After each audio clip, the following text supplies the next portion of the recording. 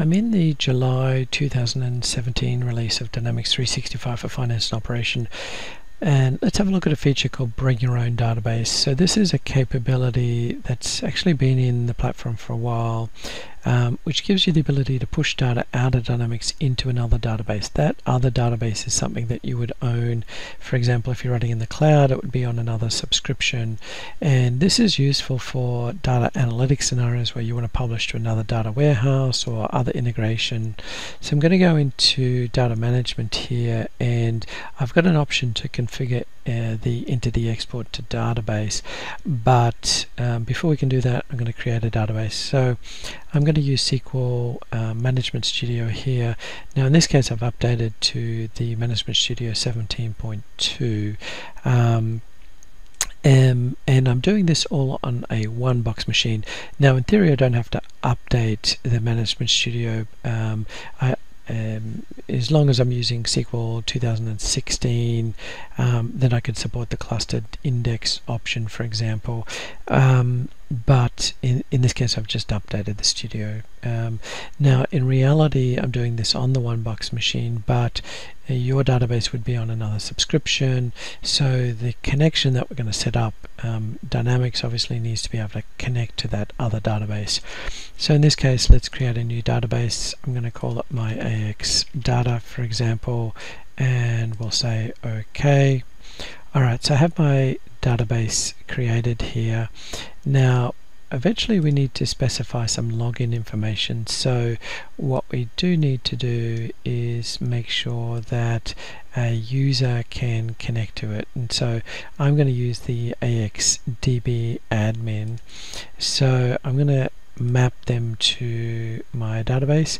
So I'm going to map them and make them a database owner so that they could log into this. Now that's my um, user connected so that I can connect to it um, and you'll see in a moment the connection. So at this stage I don't have any tables in here because we haven't done anything here yet. So now I can go back to my configure uh, entity export to database. So let's go and put these parameters in. So I'm going to hit new. I'm going to call it AX data just to match AX data, for example. Now you'll see it says Azure SQL DB. Now in production you might use an Azure SQL DB. In my case I'm using um, my um, SQL Server that's on my machine, for example. So the next is we need to fill in this connection string.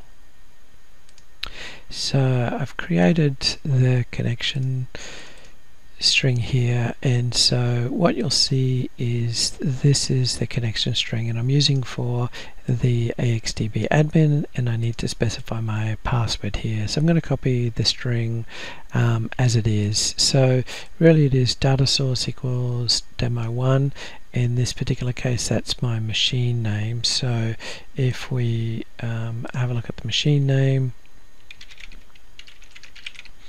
then it's called demo1 my initial catalog setting is AXData, that's the database name. Um, in this case, integrated security is false because we're specifying a user ID and eventually the password here. So I can get the password from LCS. So I'm going to go up to LCS here and have a look at my machines. In this case, this is my V2 machine and um, then we can find our password here. So I can click on the little eye icon and this will give me my password. So I'm going to do that. Um, let's take our full string and I'm going to paste it over to um, our connection string here. Alright, so I've got it in there. Um, I'm just going to pause the video while I get the password and put it in there. Alright, after I put the password at the end of the connection string, I simply hit validate, then what we should have there is a test complete successfully. If we don't get this, um, then it's not going to work, for example. So um, just be careful of that. Now, what we need to do is say which entities that we're going to publish. So I'm going to go up and let's say, for example, um, I'm going to publish the uh, customer entity. So let's find customer. Now, what we have and let's do that again. So let's get rid of this. And let's try it from our entity so customer. Alright so I'm going to use um, this entity. Um, now obviously we could use multiple entities so I'm going to use the v2 one for example.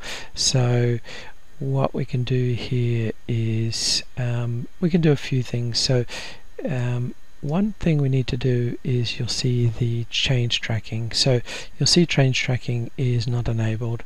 So you can change the change tracking and say entire entity or the primary table for example.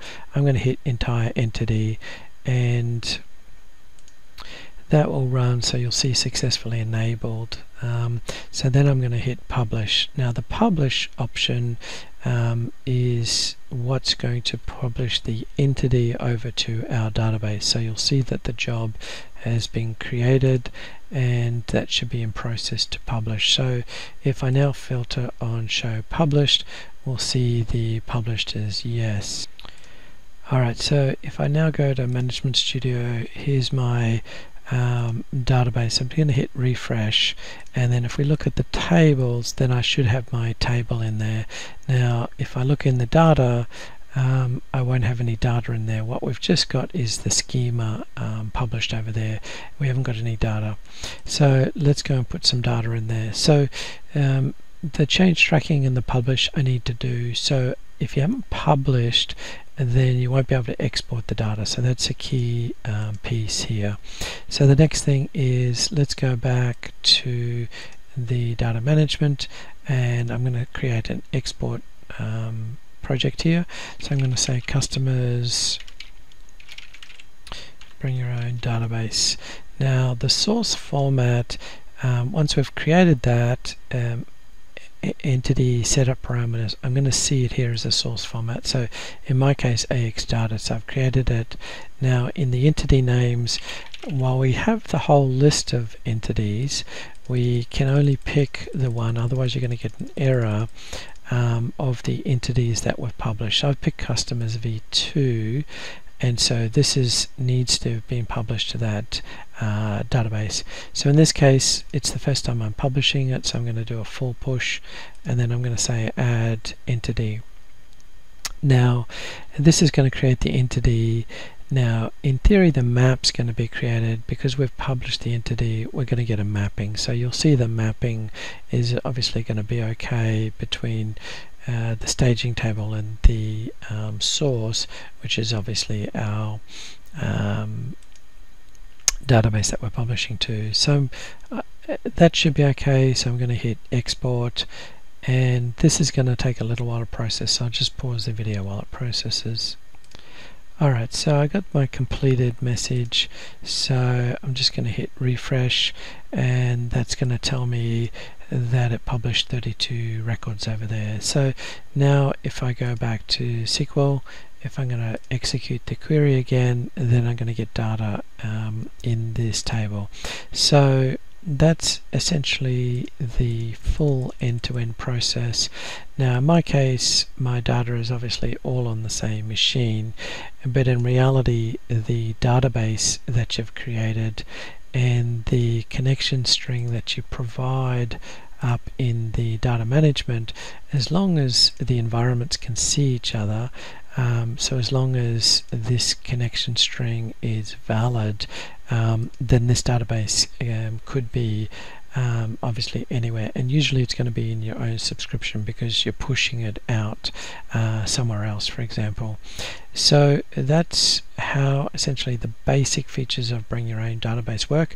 And it's a good option if you want to take data out of Dynamics on a regular basis for using in some other business analytics tool or some sort of data warehouse. So you'll find that underneath the data management and you're going to find that um, set up under the configure entity export to